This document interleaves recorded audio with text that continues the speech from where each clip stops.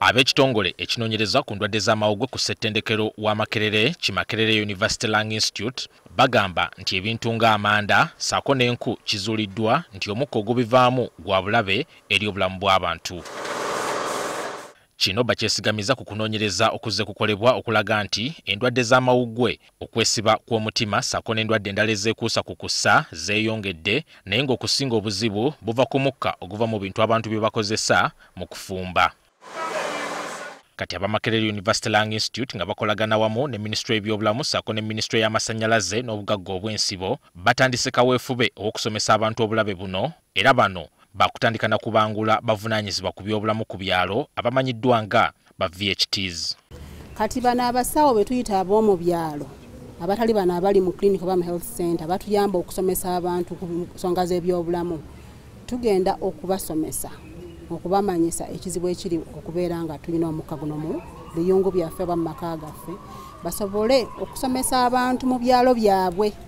Abantu beeyongere okumanya nti omukka guno wadde nga okulya tukwagala tulina okufumba naye ebintu byokozesa biyinza okuba ebyobulabe.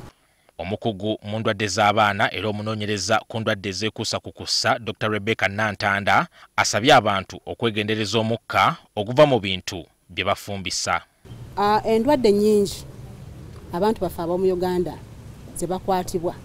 Gamba nga lubyamira mu baana ne mu bantu abakulu.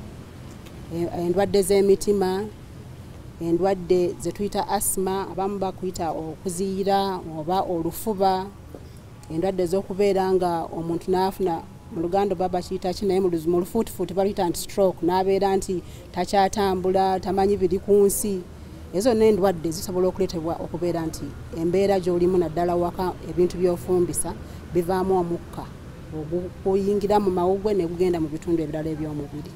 Kati bano baagala abantu batandika okusala amagezi ku ngeri gye bayinza okufumbisa ebintu ebitali bya bulabe. Gamba nga okukozesa biogas okufumbira ku masannyalaze gaasi ssaako n'enkola endala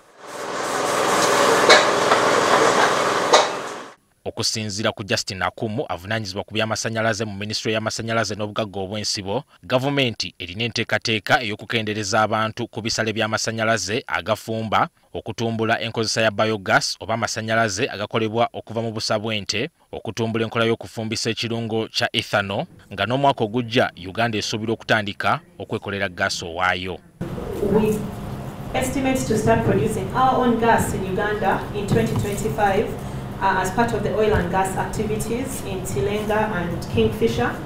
And then also in the long term, there is also a plan to produce more gas from the refinery um, in Hoim in Chikube district once it's in place.